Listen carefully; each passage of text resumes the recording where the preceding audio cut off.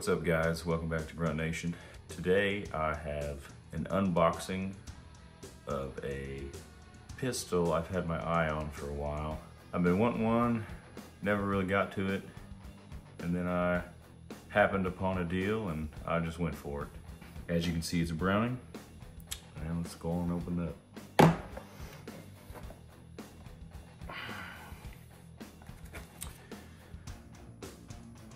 What I have for you is the Buck Mark 22 Browning pistol.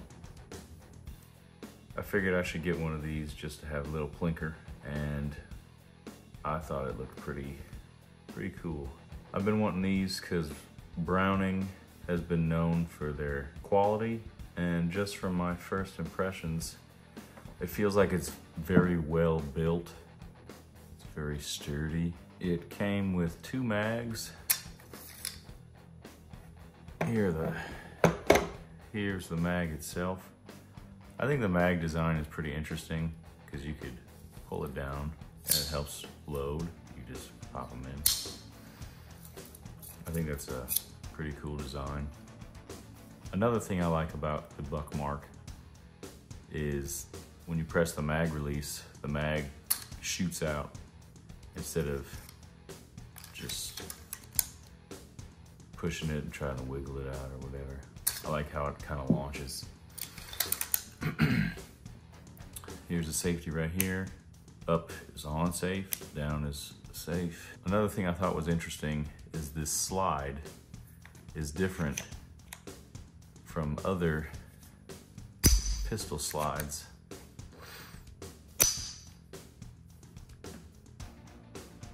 I think it's actually pretty cool. And then you can see the chamber in there. That's the slide release. This comes with an adjustable rear sight, which I thought was pretty cool. I haven't seen a pistol with an adjustable rear sight, so. The front sight is a TruGlo, which makes it pretty easy, makes it easier to aim down your sights. You can see.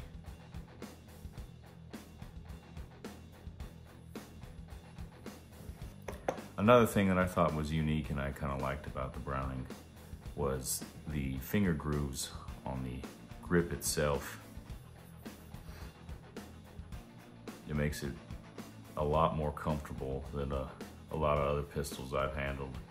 The trigger I kind of like because it's it's kind of a goldish color makes it stand out, look really nice.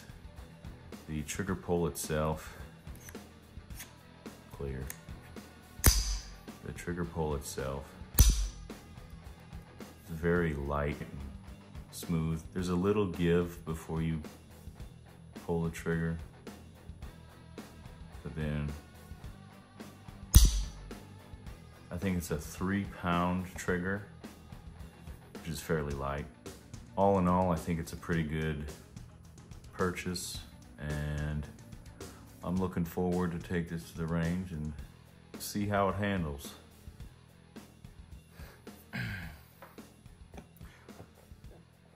I also like how it uh, came with a second magazine because I've read other reviews and seen other reviews where it only came with one magazine. So I think that's pretty cool. Thank you guys for watching. If you like this video, give it a thumbs up. If you have any questions, leave a comment down below. If you want to continue seeing these videos, subscribe, and I'll see you next time.